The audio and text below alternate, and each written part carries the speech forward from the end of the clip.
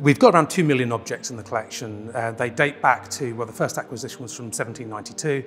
Um, it's an incredible collection, really, really important material, huge numbers of scientifically important specimens. So those are the sorts of things that you wouldn't see on display, but those are things which help us understand biodiversity on the whole of the planet and certainly within Ireland. In 2020, we started a project to address some of the problems that we've had with this building. We want to make sure that as many people as possible can get access to this building and see our incredible collection. What we've been doing over the last couple of years is moving a lot of material out of the building, um, what we call decanting, and that has been to allow the first stage of the work that had to happen um, to get started, and that is to install what we call a crash deck on our roof area, um, which allows people to get up into the roof space, and it means that architects can start figuring out how the whole space is put together, because we don't have any plans for the building. And of course, as part of that, we're going to have to continue the decamp that we started a couple of years ago.